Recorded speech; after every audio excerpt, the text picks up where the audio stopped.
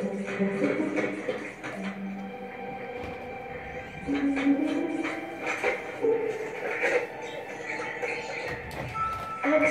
archives. Hello, Sigmund. I just wanted to let you know I will be traveling to the Tombli outpost on Xanabar and will not be back until morning. A fellow scientist has requested an audience with me, and etiquette dictates I comply. Don't go, sir. Mind the clock while I'm gone. Wind the time cleaners and, uh, Sigmund, uh, let's just keep this our little secret. Uh, as the kids say, BRB. Please don't go. End recording. It's dangerous.